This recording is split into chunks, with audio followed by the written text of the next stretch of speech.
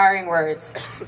I now welcome the Assistant Superintendent of Personnel, Dr. Francis Thompson, who will offer his remarks and confer diplomas upon the class of 2023.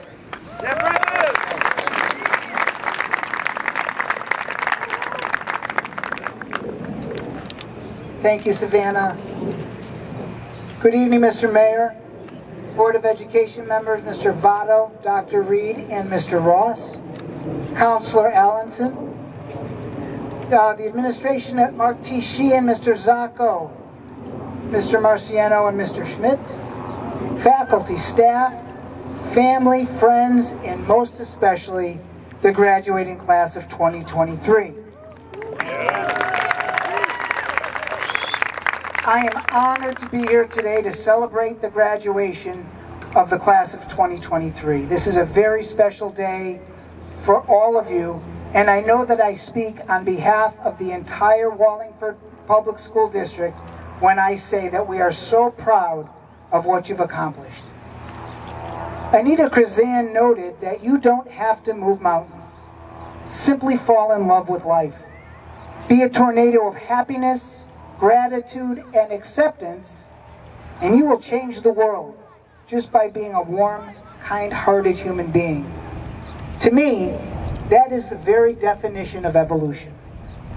Over the past four years, you have worked hard, learned a lot, and grown as individuals.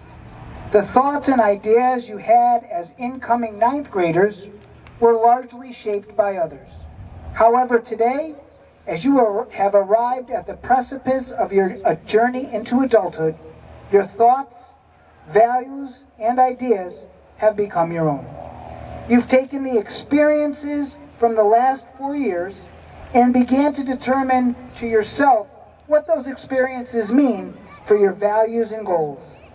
You've made new friends, challenged yourself academically, and participated in a variety of extracurricular activities. You've also faced challenges, but you've pers persevered and come out stronger. The next step on your journey will see more change, and that change will take you on new and exciting journeys. Along the way, you'll find your purpose, and for that, I bring you back to Curzan's quote.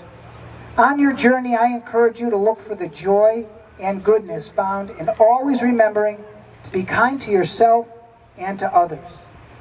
Secondly, never give up on your dreams no matter what challenges you face, and never give up on what you want to achieve. And thirdly, always be open to new experiences, both the small and large wonders that life holds. And before you know it, you will be a force, a tornado of happiness, gratitude, and acceptance. To your parents who have sacrificed so much so that you can be here today to achieve this major milestone, I congratulate and thank them all. Please remember to thank your family and friends who helped guide you through this phase of your journey. The same to your teachers and staff for their enduring support over the years.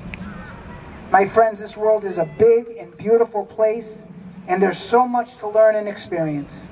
I know that you will all go on to do great things. You are the future of our community, and I am so excited to see what you're going to accomplish. Congratulations, class of 2023.